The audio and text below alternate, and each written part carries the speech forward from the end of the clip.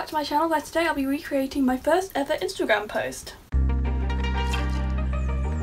So I started doing makeup in around 2018 when I was about 18 on my gap year and I started my Instagram in 2019 I believe, right before I went to uni. And my first look I ever did was this look and it was apparently meant to be inspired by It, as in the Stephen King novel, movie, TV show. It's not overly inspired by It, I can see what I was going for, but I want to do something more with it, make it more It inspired but also more what I would do now with my makeup. I also have eyebrows in this picture and it's very strange to me. I think I'm going to start with the front of my eyes and making red. I'm going to go in with this eyeshadow here from my Bright Matte palette. This mirror is a mess, but I'm going to have to use it today because I'm in a room without a mirror and I'm standing. there is roadworks going on on my side of the house and it is so loud I can't do anything. I'm just going to pack this on the front of my eye, kind of in the same shape I did in the original picture. I'm going to take it a little bit higher so it's going over my eyebrow though. I think what I was going for with this was more inspired by the book because in the book every time Pennywise shows up as a clown they're always described as looking different. Like there's not a specific look that Pennywise has as a clown. So I'm pretty sure that is what I was going for kind of like a clown look inspired by the colours of the new It movie. I honestly can't remember it was such a long time ago now. And it feels like even longer because of the pandemic. I'm going to do my under eye with this as well. This is probably going to be covered up by the tears later but I'm going to do it anyway just in case it peeks through the tears. And I'm going to put it on my waterline as well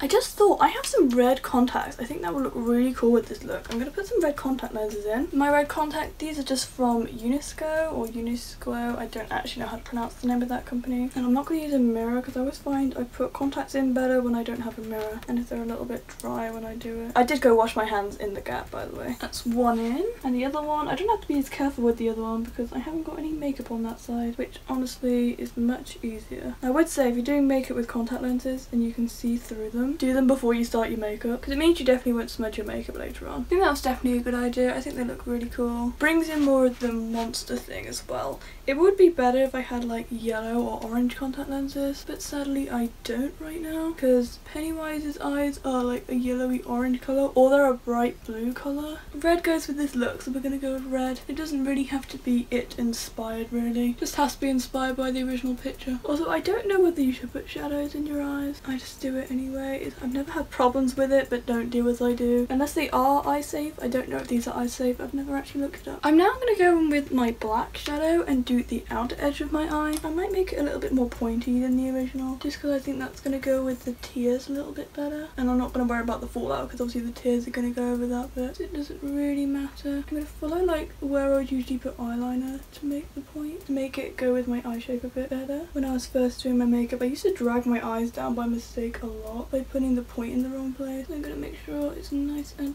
lifted for this look. And then just take it a little bit underneath where the two colours join on the corner. Can I get the shadow off? If I use a powder brush maybe, sweep it inwards just to stop it falling. It looks bad but again I'm going to put tears there so it won't matter in a minute. And then I'm going to repeat everything on my other eye. It's funny that I started on Instagram. I don't really like Instagram anymore. I just don't really use it. I think most of the people I originally followed have all moved on to TikTok. And I kind of followed them across so it doesn't really matter if I don't go and look at their pictures on Instagram. Because I do see the looks. This side is not going as well. But there's less fallout so you win some you lose some. Also this palette is quite heavy to use as a mirror mirror. I've never used it as a mirror before. Now for the tears. When I originally did the tears on this look, I actually used liquid latex, which is a terrible idea because I ripped out a lot of my bottom eyelashes. So I would definitely not recommend doing that. I'm going to use actual glitter glue today, but I'm first going to outline them just in a black liner because it just makes the glitter stand out a little bit more. And I'm even going to put it under the red just to get the shape lined out for me. Start on the corner of my eye. And I just draw the lines down first. Do that one towards my mouth a bit just to get that like Pennywise smile thing going. Okay. They don't look like tears yet, but they will. You just like flatten up the ends, make them into little drop shapes. And then I thicken up the top to meet them. I just think it makes it look a little bit better than kind of just drawing them down. They look a little bit more cartoony and a little bit more clowny, I guess. Like the collars the clowns were and there was absolutely no point doing the bottom of my eyes but oh well. Okay now that they're on and I'm happy with them I'm gonna get my glitter glue. I just use this one it's a NYX glitter primer and then I take like a little pointy rough brush. Find that it sticks better if you use a rougher brush and just dab across all of the lines that I've made already and you can see it actually changes the colour whereas if I do this on my skin it's not obvious enough to tell me exactly where I've placed it already because it's kind of my skin tone. It just helps all the tears look a little bit more neat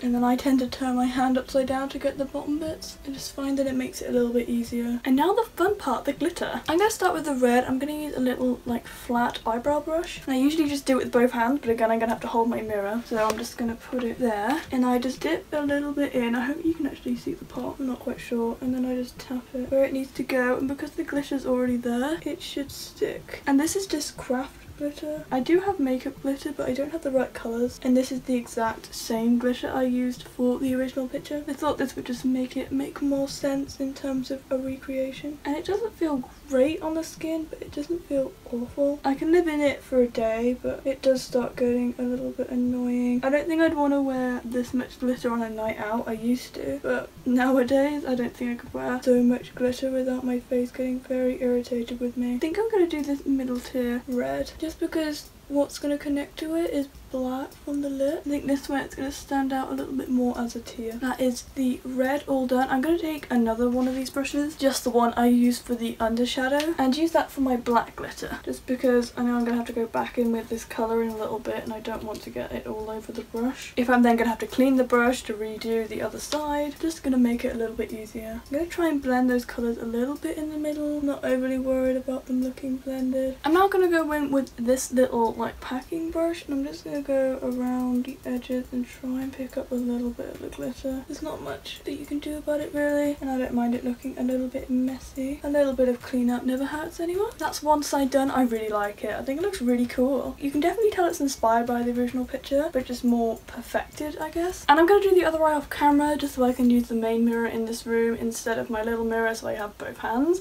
And then I'll be back to do my lips and everything else. So the other eye's now done. You'd think because I was looking in a proper mirror and I had both hands it would be better but I prefer this side. Really annoying. But anyway I'm now going to move on to my lips. I'm going to go back in with a black eyeliner. I feel like I'm using this a lot when I'm not doing eyeliner today. But what I'm going to do is in the original picture I definitely extended my mouth a bit and I had absolutely no lipstick on because I couldn't do lipstick back then so I didn't do it. I still can't do it now. I can do a certain style of it but I can't do like proper lipstick. So I'm going to extend it out to kind of meet the bottom of this tear but not really. And then I'm going to outline my lip and I think I'm going to make my cupid's bow nice and pointy today just to kind of go with that unsettling vibe make it look a little bit less human. Okay that's the shape. I'm now going to fill it in with an actual lipstick. This is just one from Cult Candy Cosmetics because when I use the eyeliner it always comes out patchy. And then for my other lip I'm going to go in with this red liquid lipstick also from Cult Candy Cosmetics and just outline it like a normal lip. Maybe make it a little bit bigger and I'm going to be really careful not to get it all over my piercings because they are quite new and I really don't want to get too much makeup on them. Okay that's not bad actually, not bad for me. Usually I'm very bad at lipstick. And then the very last thing I want to do in terms of makeup is I'm going to put red on the bottom of my nose just to give it that clown feeling. And that is it for the makeup portion. I'm going to go put on an outfit. I don't have the exact same jacket but it's an Assassin's Creed jacket and my sister has a free jacket that looks very similar.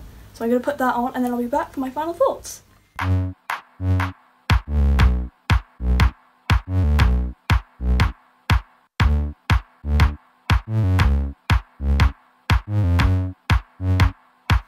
Ignoring the fact that this is a jacket from a cute anime about swimming, I really like this look and I think it looks really creepy. I really, really like it. I think I just like it because it's very Pennywise-like and Pennywise is one of my favourite characters of all time. I really want to get Pennywise tattooed in the back of my leg, but I can't find an artist that I really want to get it done by. So that might happen in the future, but like not quite. I really hope you enjoyed my recreation. I really hope you think it's better. If you think it's worse, I'm going to be very sad.